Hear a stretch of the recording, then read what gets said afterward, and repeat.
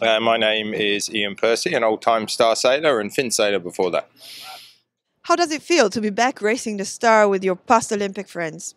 Yeah, it's been an amazing experience actually. A lot of mixed emotions for me. First time sailing the boat since the Olympics in 2012, and since then, obviously, a lot's changed in my life, losing my crew Bart to a horrible accident. So I always knew it was going to be quite an emotional return to star sailing. Um, it was really nice to be doing it with Anders, who was a good friend of mine and Bart's when we sailed against each other. So he's made it a bit easier. Um, but then when you get out there, the the racing always kind of freshens you up, and you forget about anything but trying to win, which we've been failing to do. Why are you here at the Bacardi? I, this is my first place I ever started sailing. A starboat was here in Miami in 2002, I think, um, and uh, it's always a beautiful place to sail. They do such an amazing job between the yacht clubs here for the winter sailing. I think um, there's not many places like it, so we always knew it was going to be fun. I came here with three of our old boats and uh, six friends, and we're here doing a little bit more drinking than we should be, but having a good time. What are your sailing plans for the year? Um, I'm doing a little bit of sailing, uh, uh, the RC44 class and a few other big boat regattas, but generally concentrating more on the design side. Um, Artemis has a technology company which we're developing quite a few uh, high-tech boats, you know, foiling boat designs and control systems. So, um, and the simulation of that. So we're more concentrating on that day to day, but still sailing as much as we can, and I hope to get out again in the Star towards the end of the year. How did you get into sailing? Well, I think when I started, it was probably chosen for me. I was only about six, but I do remember my parents saying that that first day I got out, I was hooked day one.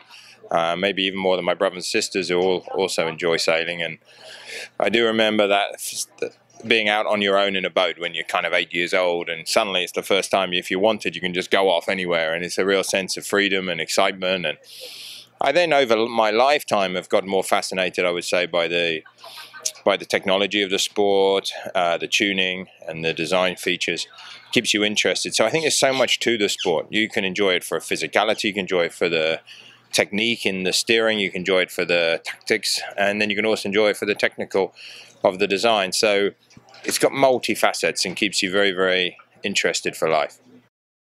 What do you like about the Starboat? Well, I think the Star epitomizes everything that is good in sailing. It because it does hit all the aspects of the sport that I personally find interesting. It's a hard boat to sail. You have to be fit and strong. You have to work hard.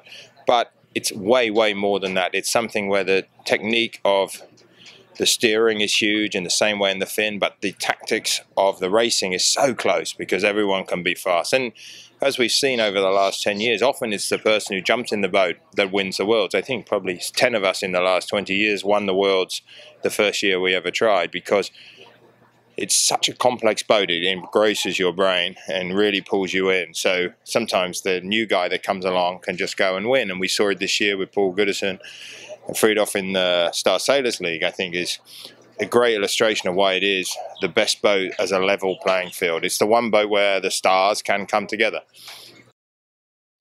What boats you started sailing on? I first sailed, I can't even remember the name, but some kind of wooden thing when I was young on a holiday. Um, that was my whole family's first sailing experience. We were living in the south of England at the time. There's a lot of people who were getting into sailing in the, in the 80s in the UK.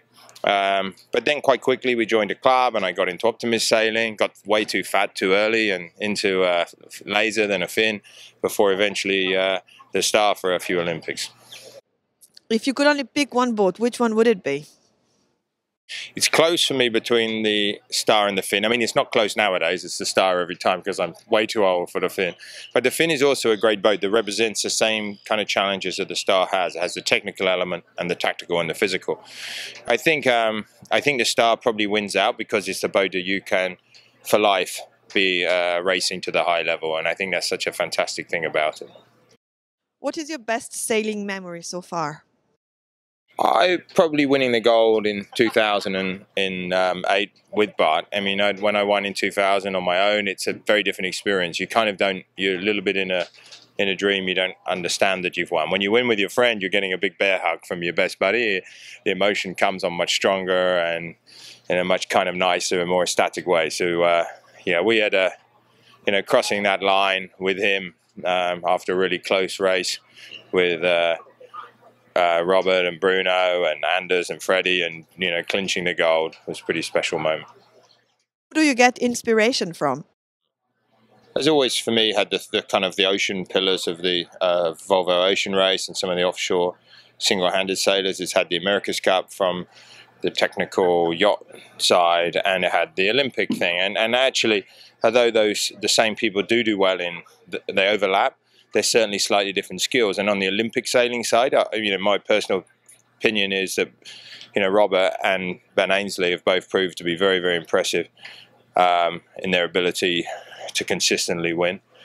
Um, but then in the technical classes in the America's Cup, I mean, you can't take much away from uh, Russell and Brad Butterworth's achievements over the years when they won the four or five cups on the on the trot. That that was a real great showcase of, of a synergy between the sailing team and the design team, which is something I enjoy and therefore respect a lot for them. But uh, certainly my generation, Robert and, and Ben, um, on the Olympic side of, of people I, I greatly admire. And some personal question What's your favorite movie?